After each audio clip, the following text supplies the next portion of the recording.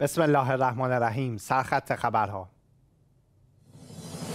مجلس عراق قانون مجازات 15 سال زندان برای همجنسگرایی را تصویب کرد.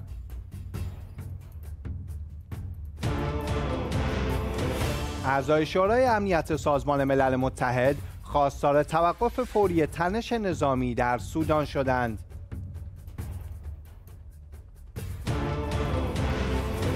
آمار تازه از تلفات سیلاب ها در افغانستان. 8 نفر جان باخته و 17 خانواده مفقود شدند.